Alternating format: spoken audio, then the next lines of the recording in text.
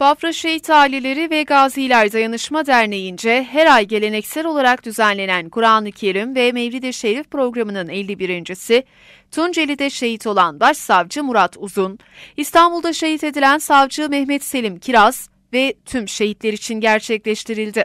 Şehitler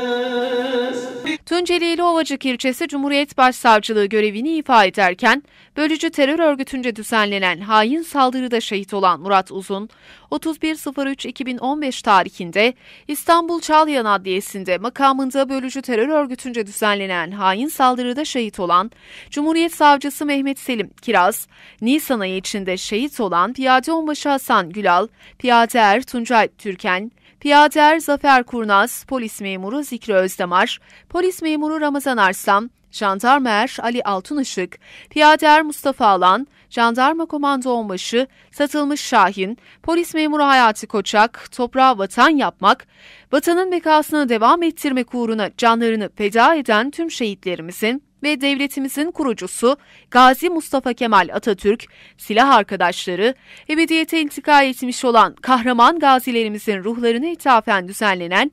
manevi duyguların doruğa çıktığı mevlid programında duygusal anlar yaşandı. Cay Türken, Piyade Er Zafer Kurnaz, Polis Memuru Er